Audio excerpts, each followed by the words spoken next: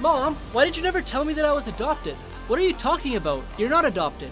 Well, today in class we did a DNA test and I matched with some random people that I've never even met before. What? No, that's not right. Honey, you tell him. Tell him what? He's not our biological son. What? What do you mean? Remember our first few nights in the hospital when our baby wouldn't stop crying? Yeah, and I told you to change him. Yeah, and I did.